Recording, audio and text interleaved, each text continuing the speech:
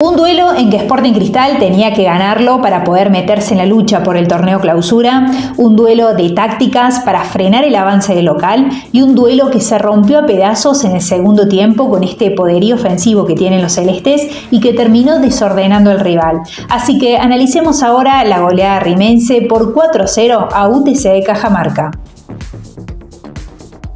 Para comenzar vamos a hablar de cuáles fueron los sistemas que utilizaron los equipos y Sporting Cristal formó con el 4-2-3-1 que es el sistema habitual, pero que en realidad formó con línea de 3 en el fondo, con sus laterales bien adelantados y en amplitud, este triángulo en el medio con Pretel, González y Canchita y arriba con Max y Cauterucho.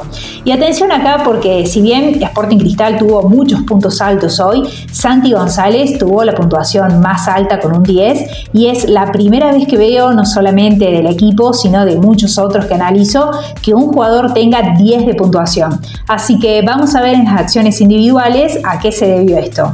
Y es porque tuvo dos goles, una asistencia, el 90% de los pases acertados, cinco pases claves, además de remates al arco, balones en aros completados.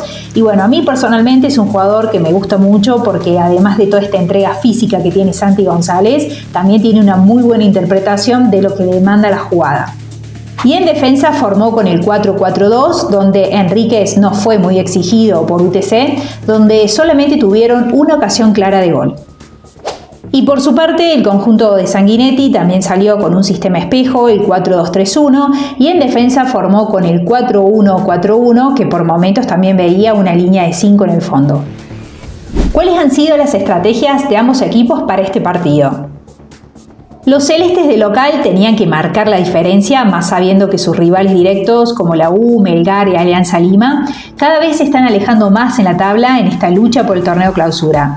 Así que la propuesta para este partido era ser el protagonista con la tenencia del balón, la intensidad en la recuperación y la velocidad en las transiciones, más sabiendo que los rivales plantean partidos muy trabados en medio campo. Sin embargo, careció en los primeros minutos de la precisión de sus lanzadores, por lo que los centros al área no no fueron bien aprovechados y es noticia de que Martín Cauterucho no haya podido convertir en este partido.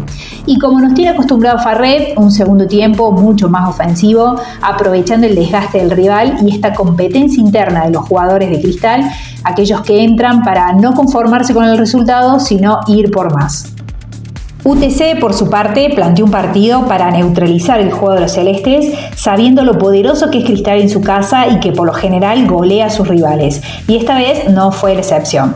Pero los cajamarquinos sabían que tenían que frenar el mediocampo de los rimenses, hacerse fuertes con un juego bastante friccionado, metiendo mucha gente en zona media, cerrando el carril central, cediendo las bandas y referenciando bien a Martín Cauterucho. Sin embargo, en el segundo tiempo, los delanteros de Cristal no tuvieron piedad y sentenciaron la goleada.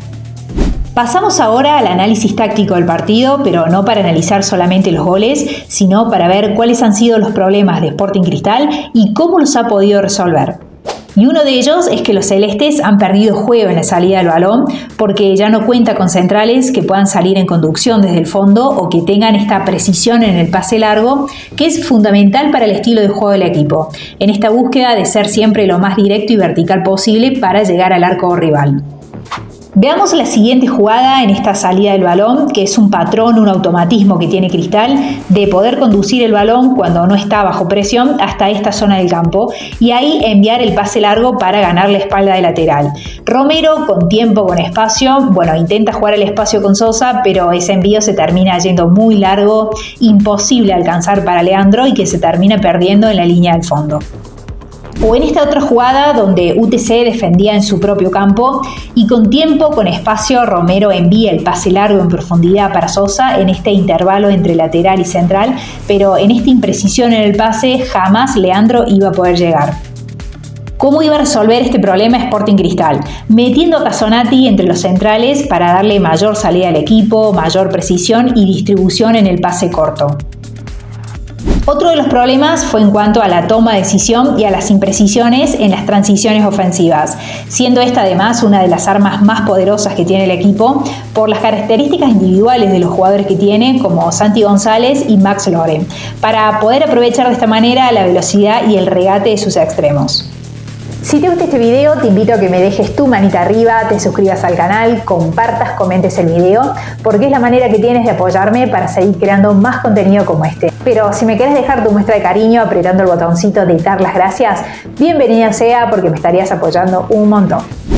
Analicemos la siguiente jugada que se da luego de un córner para UTC que logra despejar el jugador rimense y le termina quedando a Santiago González, que si bien estaba referenciado, este jugador termina siendo superado por la velocidad del extremo celeste, pero que de todas maneras quedaban en un 3 contra 2. Y acá Santi se demora en dar el pase, teniendo opciones claras para jugar tanto con Castro como por el otro lado con Canchita, pero bueno, no tuvo una buena lectura en el pase y la pelota la termina interceptando el defensa. Recién comenzaba el partido, pero las transiciones son el fuerte de Cristal y más cerca la definición por el torneo, sin duda que lo va a tener que trabajar para no desaprovechar las pocas oportunidades que tenga.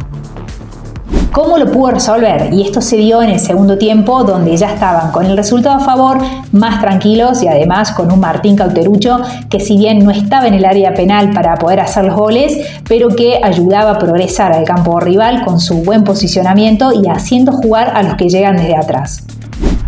Una pelota que se recupera en bloque medio, Max pone el pase para Caute, que juega muy bien de espaldas, temporizando para la subida de González y metiendo el pase en el intervalo entre los dos defensas y dejando solo de frente al arco con una excelente definición para el gol del Santi González. Y otro de los problemas fue también la imprecisión en los centros al área. De hecho, de 35 centros que se enviaron, solamente se pudieron completar 9 de ellos, por lo que está claro que en este partido Martín no pudo convertir. Recuperación en bloque alto, Sporting Cristal atacaba con mucho volumen y por lo tanto posicionaba mucha gente arriba para recuperar después la pelota. Sosa abre juego con Santi González y este tenía el tiempo, el espacio para enviar un buen centro, pero bueno, se termina apurando, ese centro queda muy pasado y Caute lo mira a Santi y seguramente con el pensamiento lo dice todo. O como en esta otra jugada, UTC priorizaba cerrar el carril central y de esta manera liberaba las bandas. Casonati lo ve solo a Sosa, le envía el pase, pero también muy pasado para que Caute la pueda empujar a la red. Situaciones como esta se repitieron montones de veces durante el partido. El juego de Sporting Cristal se basa en el pase largo, en las transiciones y en los centros al área para su 9, justamente en lo que más falló el equipo y que seguramente tendrán que mejorar. En el próximo partido, los celestes se van a estar enfrentando con Sport Huancayo en la altura, donde hasta ahora no han podido ganar ningún partido y más con las falencias que tiene justamente en su estilo de juego. Pero me encantaría saber si crees que Farré sea capaz de armar un buen planteamiento para poder meterse en la lucha por el clausura. Te leo en los comentarios.